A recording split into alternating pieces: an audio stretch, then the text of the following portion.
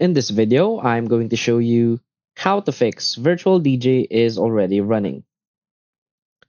So please watch the video until the end and follow this tutorial step by step to avoid making mistakes.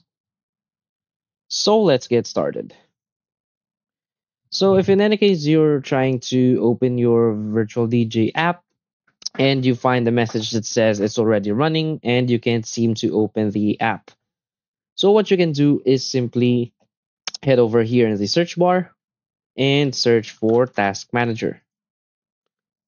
Now from here, you just want to simply find the running app just right here.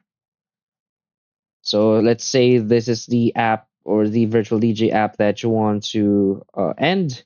So simply right click on it and click on end task. So to make sure, you simply want to go here to details and find the app, the virtual DJ app that is running. So from here, let's say this is the virtual DJ app, simply right click on it and click on end process tree. By doing this, you're going to close the app and you want to try to open it back again. So that's it. So if you find this video helpful, please hit like and subscribe. Thanks.